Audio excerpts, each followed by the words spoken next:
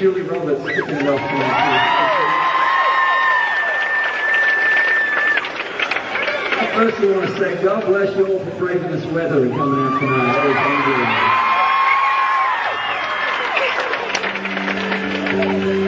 We're getting a little bummed out backstage because they, they thought we might have to cancel. And like, no,